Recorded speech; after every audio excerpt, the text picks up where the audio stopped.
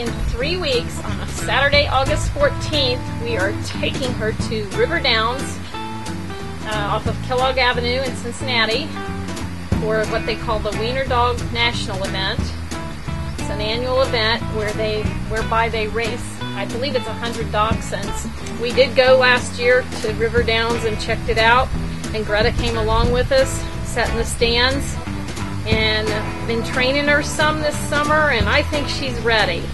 So I guess if you're going as a spectator, you might want to get there about six o'clockish or maybe 5:45. Soon. It seems to me that racing lasted about an hour, hour and 15 minutes last year.